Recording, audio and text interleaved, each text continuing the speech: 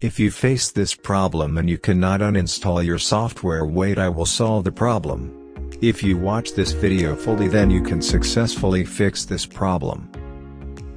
Most of the time, it happens if the unins000.dat file was missing in the C drive.